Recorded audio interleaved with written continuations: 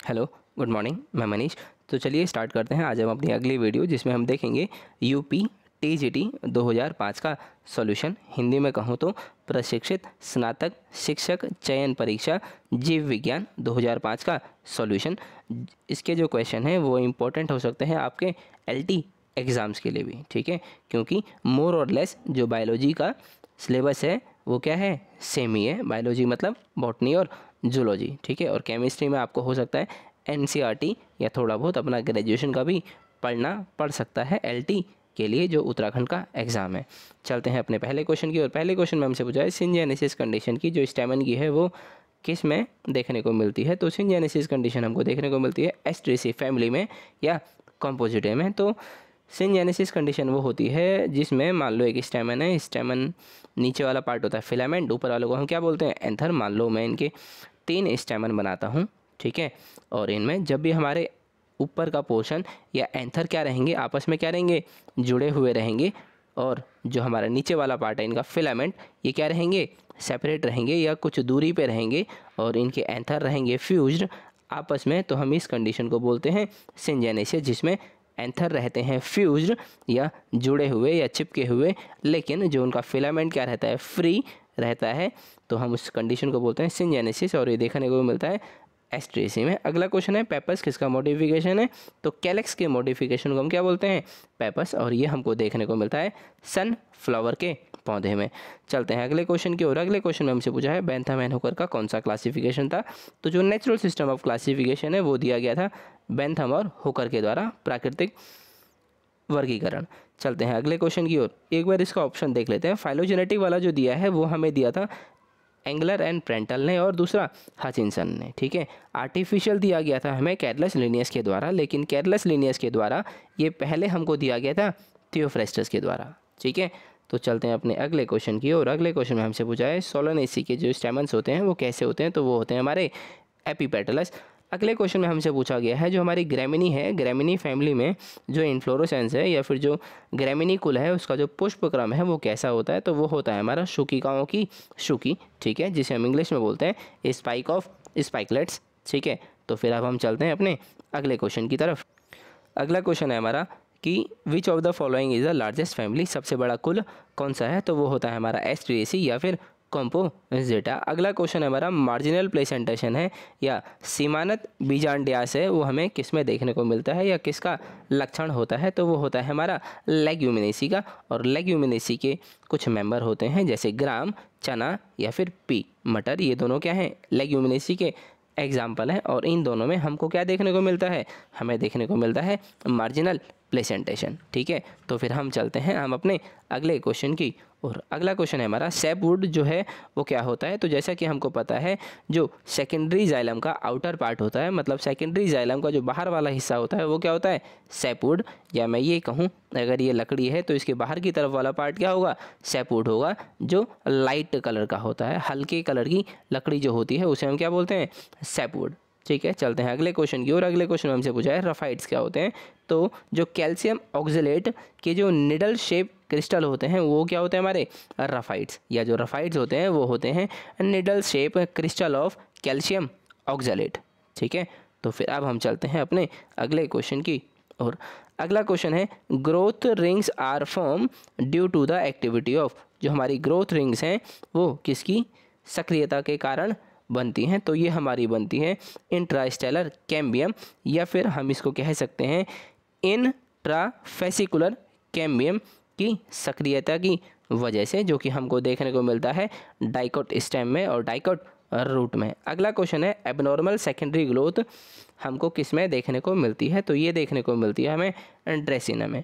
अगला क्वेश्चन है, जो हमारा टीक वुड है मतलब टीक की लकड़ी हमको किससे प्राप्त होती है? तो वो प्राप्त होती है टेक्टोनिया ग्रैंडिस से। अगला क्वेश्चन है हमारा, bast fibre are obtain from मतलब जो बास्ट रेशे हैं, वो हमें किससे प्राप्त होते हैं? तो ये हमको किससे प्राप्त होते हैं? कॉर्कोरस से, ठीक है? बास्ट फाइबर हमको जो प्राप्त होते हैं, या बास्ट रेशे हमको प्राप्त होते हैं, कॉर्कोरस से, ठीक है? और कॉस्कोरस जो है, वो हमारा साइंटिफिक नेम किसका होता है? जूट का होता है साइंटिफिक नेम और जो इनका पूरा नाम है, वो हमारा क्या होता है? C O R C H O R U S corchorus C A P S U L A R I S, ठीक है? जूट का साइंटिफिक नेम ये होता है कॉर्कुरस कैप्सुलर चलते हैं अगले क्वेश्चन की ओर। अगले क्वेश्चन में हमसे पूछा गया है citronella oil is obtain from the leaves of मतलब जो सिट्रोनेला तेल है, वो हमको प्राप्त होता है पत्तियों से। किसकी पत्तियों से हमें? सिट्रोनेला तेल जो है, वो प्राप्त होता है। तो ये हमको प्राप्त किससे होता है? ये हमको प्राप्त होता है साइम्बो पोगन नैंड्रस से, ठीक है? इसके पत्तियों से हमको सिट्रोनेला ऑयल यूज़ होता है, जो हमें सस्ते साबुन में देखने को मिलता है। चलते हैं फिर हम अपने अगले क्वेश्चन की और अगले क्वेश्चन में हमसे पूछा है DNA are composed only of जो हमारे डीएनए निर्मित होते हैं, केवल किससे न्यूक्लिक एसिड से, ठीक है? अगला क्वेश्चन है हमारा, ऋषिया का जो एक्वेटिक स्पीसीज है, वो कौन सी है? मतलब ऋषिया की जो जलीय जाति है, वो कौन सी है? तो वो होती है हमारी ऋषिया फ्लूटेंस, ठीक है? चलते हैं अगले क्वेश्चन की ओर। अगले क्वेश्चन में हमसे पूछा गया है, जो air cavities in the capsule of moss are partitioned with delicate stand of cells these are called मतलब मॉस के कैप्सूल में वायु गुहाएँ कोशिका के कोमल तंतुओं द्वारा हिस्सों में बटी होती हैं, ये कहलाता है। तो जो बटी होती हैं, उन्हें क्या कहलाते हैं? तो वो उनको हम क्या बोलते हैं? ट्रेबिक्यूली बोलते हैं। ठीक है? चलते हैं आप अपने अगले क्वेश्चन की ओर। अगला क्वेश्चन हमारा, जो हमारा सिलाइजनेला है, वो क्या है? तो जो हमारा सिलाइजनेला होता है, एक तो वो होता है हेट्रोस्पोरस और दूसरा क्या होता है? हेट्रोगैमस हेट्रोगैमस का मतलब इसमें दो टाइप के क्या प्रेजेंट होते हैं? गैमेट्स और हेट्रोस्पोरस का मतलब ये दो टाइप क्या बनाता है? स्पोर्ट्स और दो टाइप के स्पोर्ट्स कौन कौन से? माइक्रोस्पोर और मेगा स्पोर्ट्स और गैमिट कौन से? माइक्रोगैमिट और मेगा गैमिट चलते हैं अगले क्वेश्चन में। अगले क्वेश्चन में हमसे पूछा है, जो टेरिस है, उसके सोराई कैसे होते हैं? तो वो होते हैं लीनियर और कॉन्टीन्यूस टेराई सोराई जो होते हैं टेरिस के, वो तो लीनियर होते हैं या कंटिन्यूस होते हैं, या फिर कभी कभी आपको एक दूसरा ऑप्शन भी देखने को मिलेगा, linear and submarginal S U B M A R G I N A L linear और सब मार्जिनल और कॉन्टीन्यूस और लीनियर सोराई ही हमको देखने को एक और स्पीसीज में मिलते हैं, जिसका नाम क्या है? टेरिडियम, ठीक है? टेरिडियम तो चाहे हम टेरिडियम की बात करें या टेरिस की बात करें, दोनों में जो सोराई होते हैं, वो कैसे होते हैं? कॉन्टीन्यूस और लीनियर। चलते हैं अगले क्वेश्चन में। अगले क्वेश्चन में हमसे पूछा है, टेरिडोफाइट में पादप शरीर की उत्पत्ति के विषय में टीलोम वाद प्रस्थापित किया गया था। मतलब जो टीलोम थ्योरी है, वो किसने दी थी? वो दी थी जीमरमैन द्वारा जीमरमैन द्वारा। इनका पूरा नाम था वॉल्टर जीमरमैन और ये क्या थे? जर्मनी के पोलियो बेटनिस्ट जर्मनी के पैलियो बॉटनिस्ट या जर्मन देश के ये रहने वाले थे। चलते हैं अपने अगले क्वेश्चन की ओर।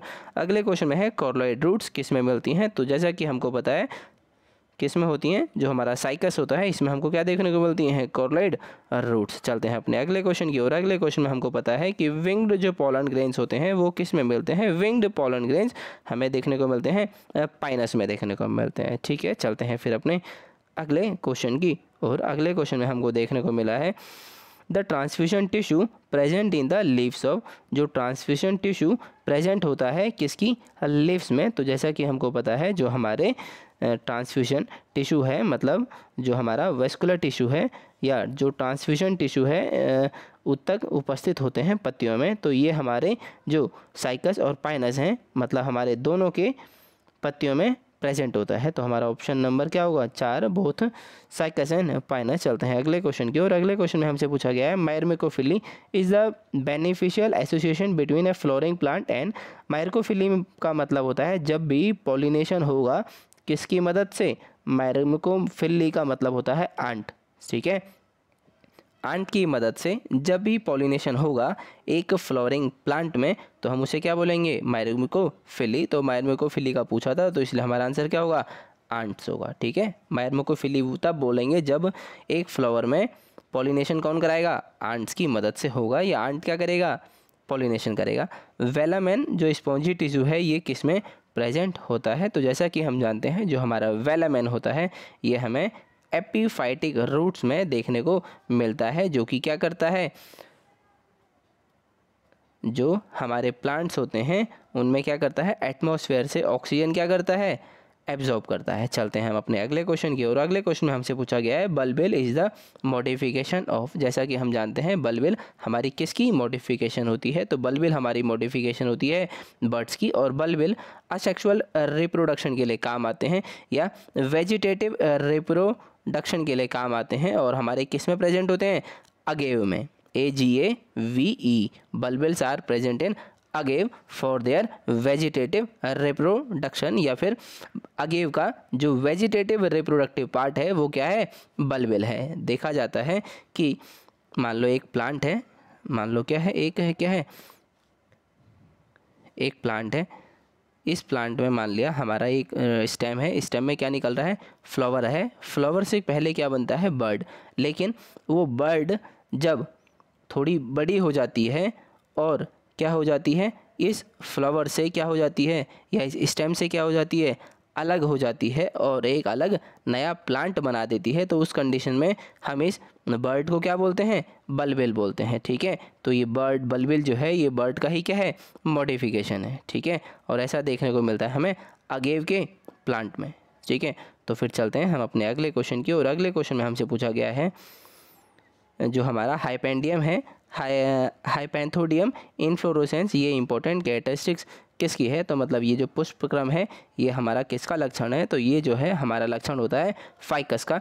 चलते हैं अगले क्वेश्चन की और अगले क्वेश्चन में हमसे पूछा गया है, cyathium inflorescence is a characteristic of family ये जो हमारा साइथेशियम है, या कटोरिया पुष्पक्रम किसका लक्षण होता है? तो ये हमारा लक्षण होता है हमारी यूफेरबेसी। कुल का अगले क्वेश्चन में हमसे पूछा है streptomycin is produce by streptomycin है, कौन बनाता है या किसमें उत्पन्न होता है या फिर कौन उत्पन्न इसको करता है? तो जो हमारा स्टेप्टोमाइसिन है, ये उत्पन्न करता है स्टेप्टोमाइसिस ग्राइसियस स्टेप्टोमाइसिस ग्राइसियस। चलते हैं हम अपने अगले क्वेश्चन की और अगले क्वेश्चन में हमसे पूछा गया है, जो ट्रांसफॉर्मेशन प्रिंसिपल था, जो या फिर जो ट्रांसफॉर्मेशन किया था, डिप्लोकोकस निमोनिया में, वो किस साइंटिस्ट ने डिस्कवर किया था या किस साइंटिस्ट की क्या थी? खोज थी। तो जैसा कि हम जानते हैं, इसी को हम एक दूसरे नाम से भी जानते हैं, जिसका नाम होता है ट्रांसफॉर्मेशन प्रिंसिपल। तो जो ट्रांसफॉर्मेशन प्रिंसिपल है, वो किसने दिया था? फ्रेड ग्रिफिथ ने, या कभी कभी इनका नाम क्या लिखा जाता है? खाली ग्रिफिथ लिखा जाता है, ठीक है? या ग्रिफिथ लिखा जाता है। चलते हैं फिर अपने अगले क्वेश्चन की ओर। अगला क्वेश्चन है हमारा, जो हमारी क्रॉसिंग ओवर है, वो किसके बीच में होती है? या क्रॉसिंग ओवर जो है वो किसके मध्य में होता है? तो जैसा कि हमको पता है, हमारा क्रॉसिंग ओवर होता है नॉन सिस्टर क्रोमेटिड के बीच में होता है और होमोलोगस क्रोमोजोम के वो होने चाहिए। मतलब non sister chromatid of homologous chromosome या फिर होमोलोगस क्रोमोजोम के नॉन सिस्टर क्रोमेटिड होता है, उनके बीच में क्या होती है?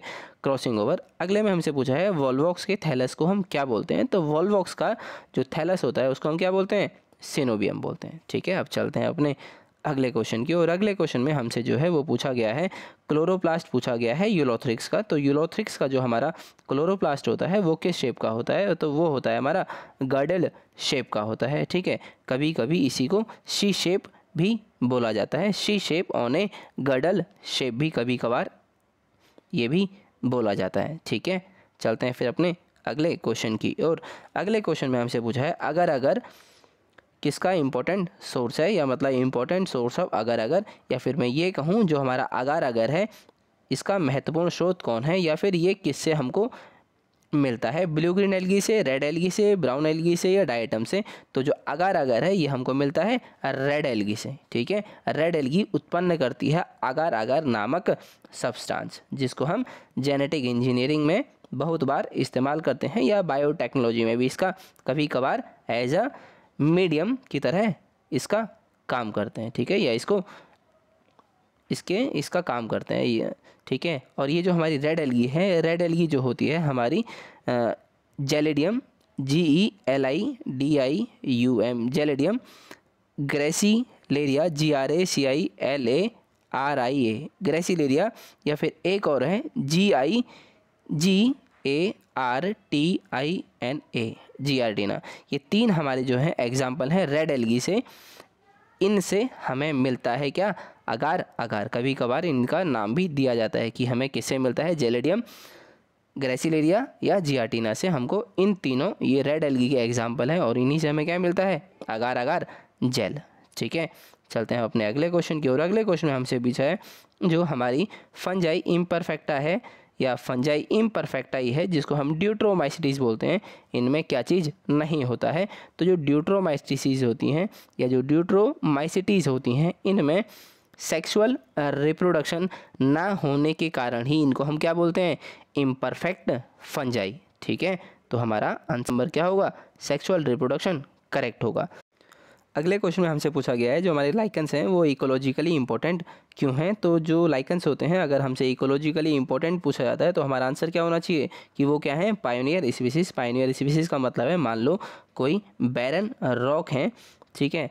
मतलब कोई बंजर पत्थर हैं, ठीक है? बंजर पत्थर पे जो सबसे पहले उगने वाली स्पीसीज होती है, उसे हम क्या बोलते हैं? पायोनियर स्पीसीज और वो कौन होती है? लाइकन होती है, ठीक है?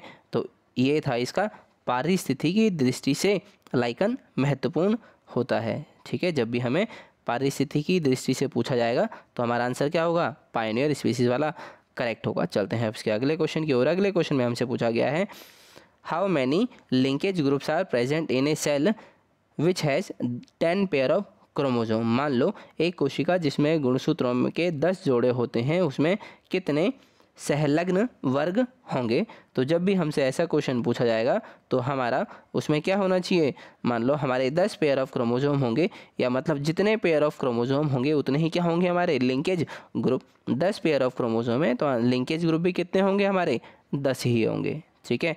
चलते हैं अगले क्वेश्चन की ओर। अगले क्वेश्चन में हमसे पूछा है माइक्रोराइजा क्या दर्शाता है, या क्या प्रदर्शित करता है? तो जो हमारा माइक्रोराइजा होता है, ये क्या होता है? सिम्बायोटिक एसोसिएशन होता है between fungus and root of higher plant ठीक है, चलते हैं अगले क्वेश्चन की ओर।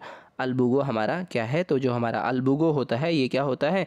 एक पैथोजन होता है, वो भी एबुलिगेट इंटर सेलुलर चलते हैं अगले क्वेश्चन की ओर। अगले क्वेश्चन में हमसे पूछा गया है, जो कॉलीफाज होता है coliphage five into one seventy four content जो आप ये स्ट्रक्चर देख रहे हैं, जो ऐसे बना रखा है, इसको हम क्या बोलते हैं? फाइव कॉलीफाज या coliphage five into one seventy four content. आपसे इसका क्या पूछ रहा है? जेनेटिक मटेरियल पूछ रहा है कॉलीफेज का। तो जो हमारा ये कॉलीफेज है, इसमें हमारा इसका जेनेटिक मटेरियल कैसा होता है? ये होता है हमारा सिंगल स्टैंडर्ड डीएनए, ठीक है? तो हमारा आंसर क्या होगा? ये करेक्ट होगा। चलते हैं हम अपने अगले क्वेश्चन की ओर। अगला क्वेश्चन है हमारा एड्स इज़ कॉज्ड बाय तो जो हमारा एड्स होता है, वो किससे होता है? तो हमारा क्या होता है? एड्स वायरस की मदद से होता है, ठीक है? वायरियन मीन, वायरियन का अर्थ क्या होता है? तो जो हमारा वायरियन है, वायरियन का मतलब होता है कंप्लीट फॉर्म ऑफ़ वायरस मतलब वायरस की पूर्ण अवस्था। अगला क्वेश्चन है, इनमें से कौन सा क्या है? माइक्रो न्यूट्रिएंट मतलब सूक्ष्म पोषक तत्व कौन सा है? तो जब भी सूक्ष्म पोषक तत्व की बात आती है तो हमारा वो क्या होता है? मैग्नीशियम। अगले क्वेश्चन में हमसे पूछा गया है absorption of water by root increase मतलब जड़ों द्वारा जल का अवशोषण बढ़ता है। कब? जब ट्रांसपीरेशन रेट बढ़ जाता है मतलब वाष्पोत्सर्जन दर बढ़ जाती है। मतलब जब भी पौधों में वाष्पोत्सर्जन दर बढ़ेगी तो जड़ द्वारा जल का अवशोषण भी बढ़ेगा।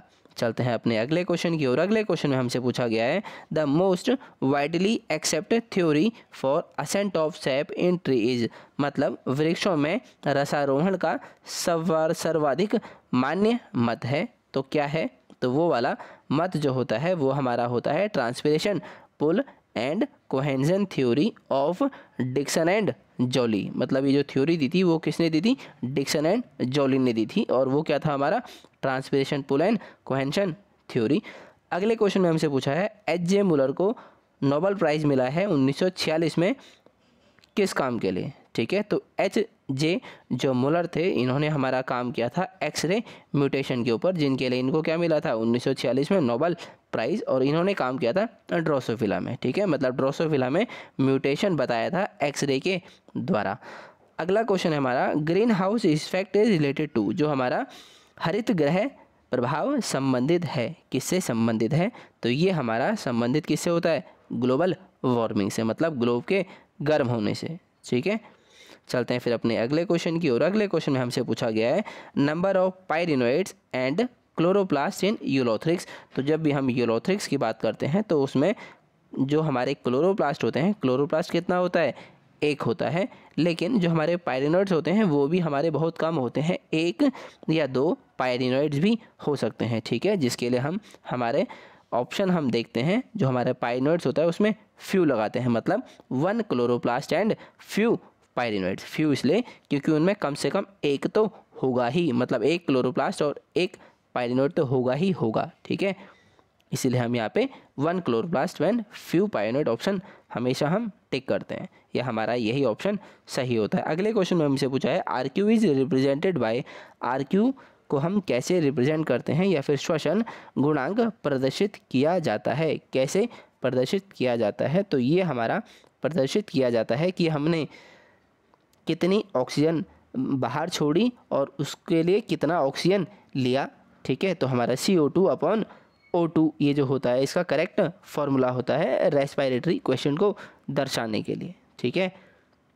इसका मतलब होता है किसी प्रक्रिया के लिए या किसी के ऑक्सीडेशन के लिए हमने कितना सी ओ टू जो है, वो बाहर छोड़ा और कितना ऑक्सीजन हमने लिया, ठीक है? और यही फॉर्मूला होता है आर क्यू का। चलते हैं हम अपने अगले क्वेश्चन की ओर। अगला क्वेश्चन है हमारा outer sorry other name of glycolysis glycolysis का दूसरा नाम तो वो होता है ई एम पी पाथवे इसी को ही हम बोलते हैं एम्बडन मेयर ऑफ़ पाथवे अगले क्वेश्चन में हमसे पूछा गया है what is C cycle C cycle क्या होती है? तो जो हमारा ग्लाइकोलेट साइकिल होता है, इसी को हम क्या बोलते हैं? सी साइकिल या कार्बन साइकिल ये होती है लाइट डिपेंडेंट होती है, और इसका रिलेशन किस किस से होता है?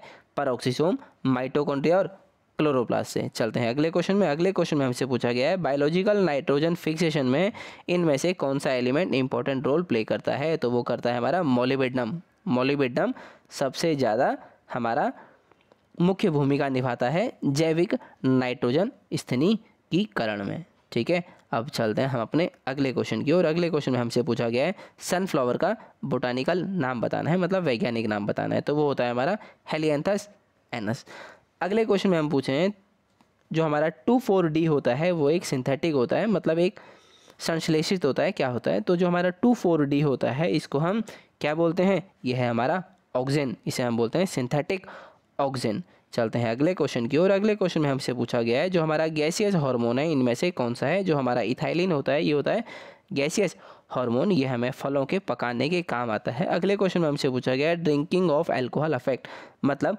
एल्कोहल का पीना प्रभावित करता है तो ये किसको प्रभावित करता है? ये हमारा प्रभावित करता है सैरी बैलम को। ठीक है?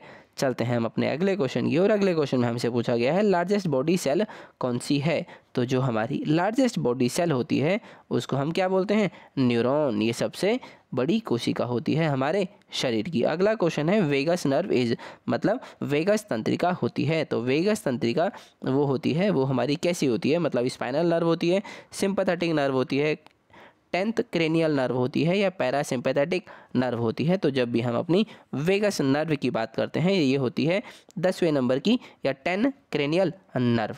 ठीक है? अगला क्वेश्चन है हमारा, how many pairs of cranial nerves in mammal purely sensory? मतलब स्तनियों में कपाली तंत्रिकाओं के कितने जोड़े शुद्ध संवेदी होते हैं? तो जो हमारे शुद्ध संवेदी होते हैं, वो कितने होते हैं हमारे? तीन ही होते हैं शुद्ध संवेदी। कौन कौन से? पहली दूसरी और आठवीं। ये तीनों क्या होती हैं हमारी? शुद्ध संवेदी।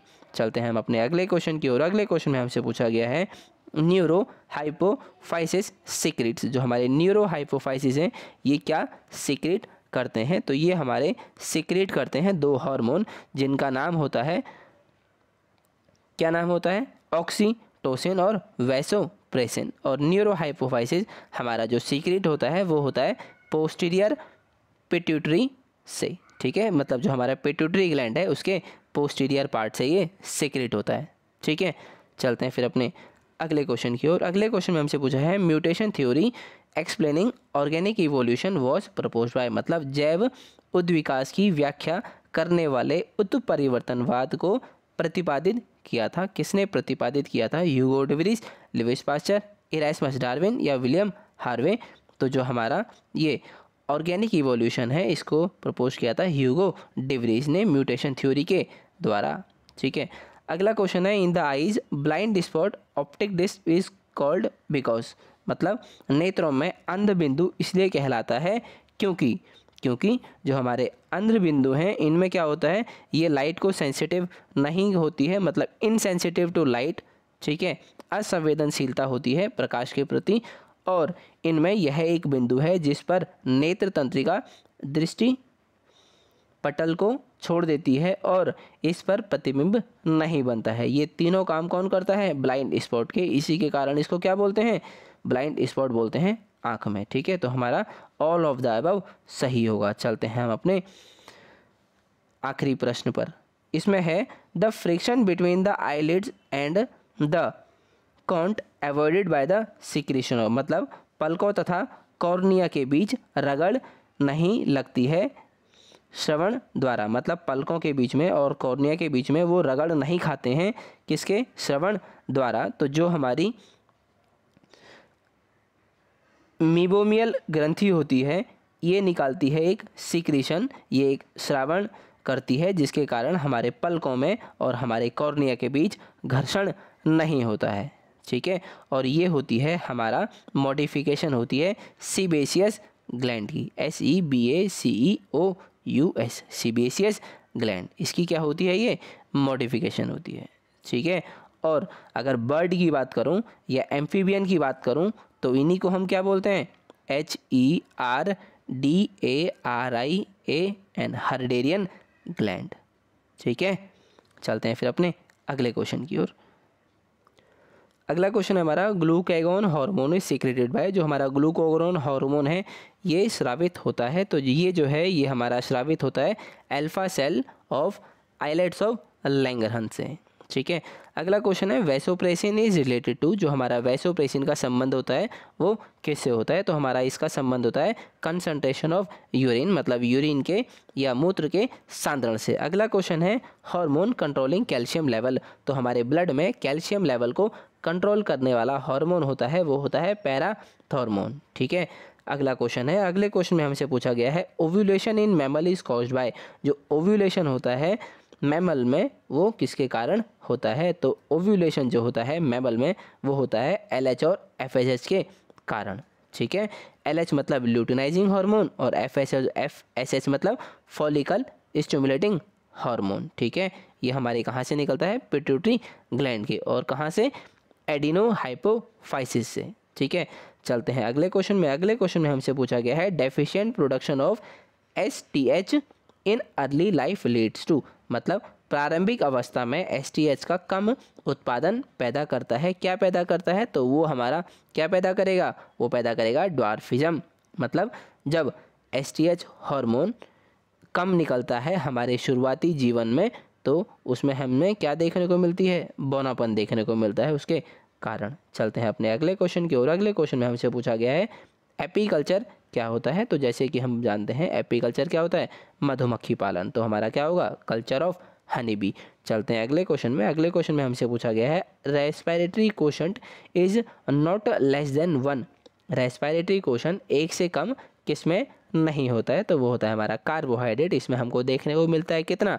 वन देखने को मिलता है। मतलब आर क्यू की वैल्यू कितनी होती है? वन होती है। अगले क्वेश्चन में हमसे पूछा गया है the capacity of lung for air in a healthy man is about मतलब एक स्वस्थ मनुष्य में वायु के लिए फेफड़ों की क्षमता होती है। लगभग कितनी क्षमता होती है? तो जैसा कि हमको पता है, हमारी लगभग क्षमता कितनी होती है? तीन हज़ार एम एल चलते हैं अपने अगले क्वेश्चन की ओर। अगले क्वेश्चन में हमसे पूछा गया है, जो हमारा ग्लाइकोलाइसिस होता है, उसका एंड प्रोडक्ट क्या होता है? तो जैसा कि हम जानते हैं, हमारा ग्लाइकोलाइसिस का एंड प्रोडक्ट जो होता है, वो होता है पायरुविक एसिड ठीक है?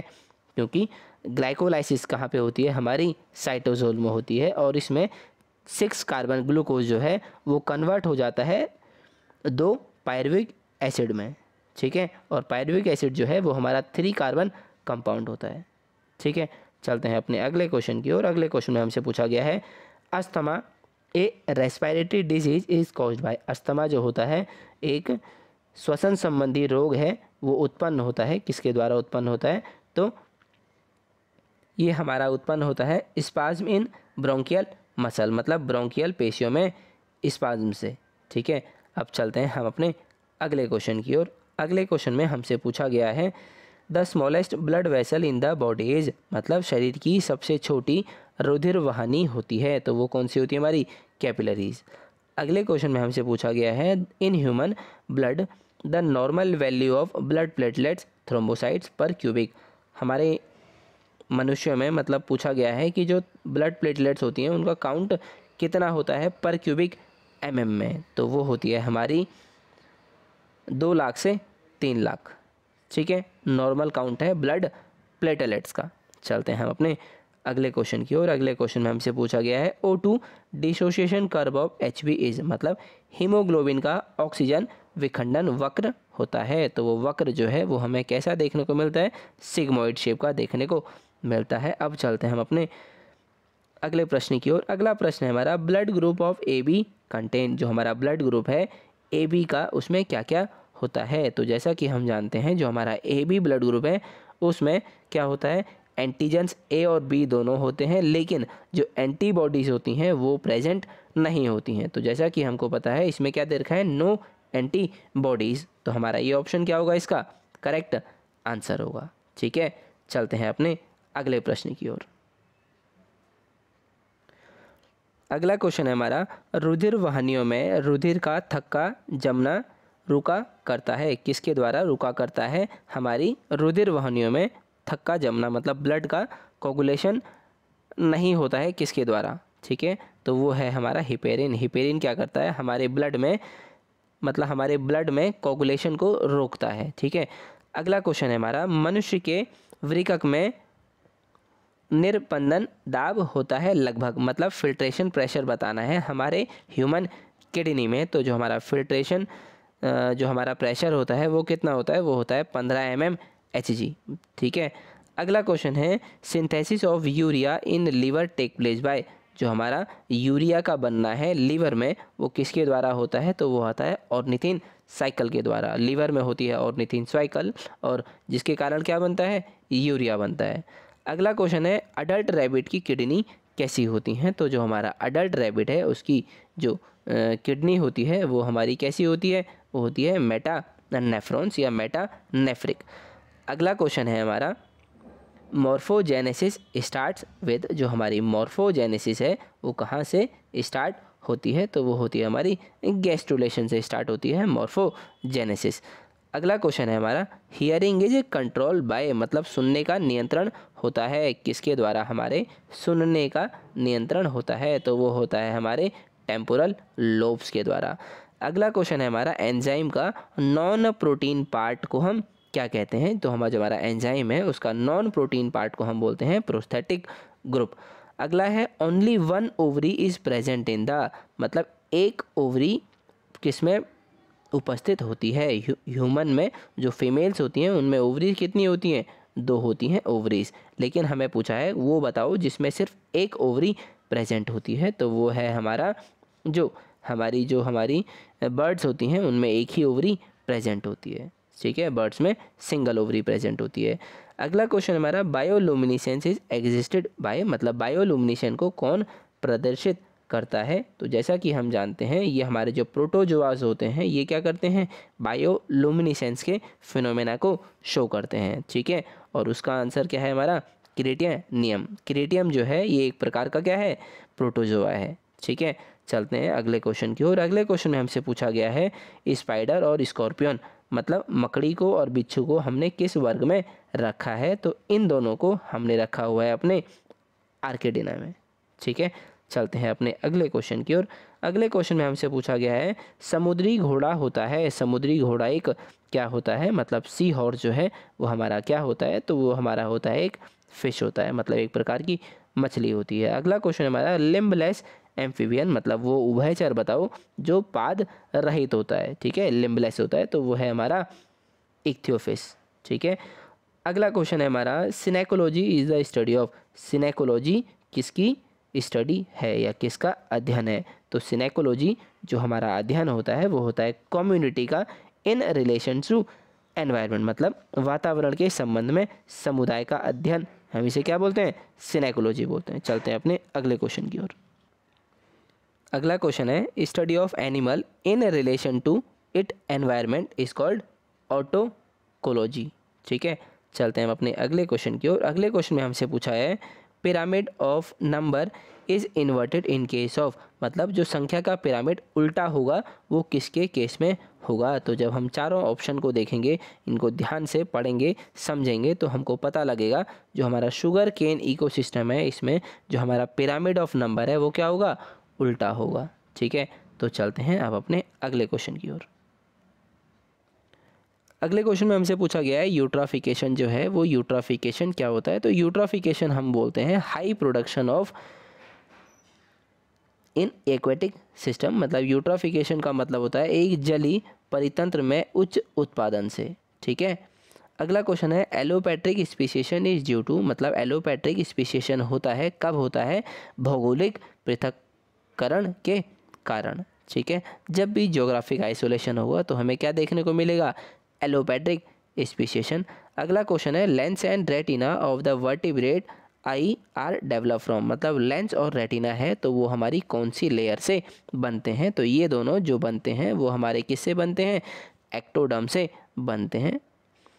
अगला क्वेश्चन है हमारा मेमोरी ग्लैंड्स आर मॉडिफाइड मतलब जो हमारे स्तन ग्रंथियाँ रूपांतरित हैं। तो स्तन ग्रंथियाँ जो हैं, वो हमारी क्या रूपांतरित हैं?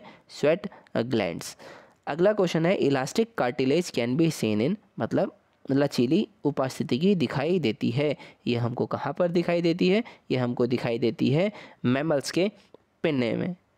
ठीक है? पिन्ने ऑफ़ मैमल्स अगला क्वेश्चन है most convincing in Darwin theory is मतलब डार्विन के सिद्धांत में अत्यधिक युक्ति युक्त है। तो डार्विन की थ्योरी में जो हमें मोस्ट कन्विंसिंग पार्ट लगता है उसका, वो क्या होता है? फॉर्मेशन ऑफ़ स्पेसिस मतलब जातियों का निर्माण। अगला क्वेश्चन है हमारा man which of the following set of structure present all vestigial structure in human body vestigial structure का हमें बताना है मतलब संरचना में कौन सा निम्नलिखित सेट मानव शरीर के सभी अवशेषी रचनाओं को प्रदर्शित करता है? तो जब हम अपना ऑप्शन देखेंगे तो हम उसमें आराम से बता सकते हैं, कॉकिक्स, वर्मीफॉर्म अपेंडिक्स और कान की जो मसल्स होती हैं, ये तीनों क्या होती हैं हमारी? वेस्टिजियल स्ट्रक्चर होती है। चलते हैं अगले क्वेश्चन की ओर। अगले क्वेश्चन में हमसे पूछा गया है रेप्टाइल और बर्ड का कनेक्टिव लिंक बताओ। तो जो रेप्टाइल और बर्ड का कनेक्टिव लिंक कौन होता है हमारा? आर्क्योप्टेरिक्स अगले क्वेश्चन में हमसे पूछा गया है, जो हमारे एनालॉगस ऑर्गन है, इनमें से उनके लिए कौन सा ऑप्शन सही रहेगा? तो जो हमारे एनालॉगस ऑर्गन है, वो होते हैं wings of insect and feather of birds अगला क्वेश्चन है होमो इरेक्टस जो है, ये साइंटिफिक नेम किसका है? तो होमो इरेक्टस जो है, ये साइंटिफिक नेम होता है जावा और पर्किंग मैन दोनों का। अगला क्वेश्चन है जूलॉजिकल नेम बताना है जावा एप मैन का मतलब पीथी सेंथ्रोपस का। ठीक है? जूलॉजिकल नेम बताना है तो इनका जूलॉजिकल नेम होता है होमो इरेक्टस अब चलते हैं हम अपने अगले क्वेश्चन की ओर। अगले क्वेश्चन में हमसे पूछा गया है प्राइमेट इंक्लूड प्राइमेट में क्या क्या आते हैं? तो लॉरिसिस लैमर्स ट्रांसियन मंकी एप और मैन ये सब किसमें आते हैं? प्राइमेट्स में आते हैं। अगले क्वेश्चन में हमसे पूछा गया है homo sapiens appeared on the scene only जो होमोसेपियंस हैं, वो कौन से सीन में हमको देखे गए हैं।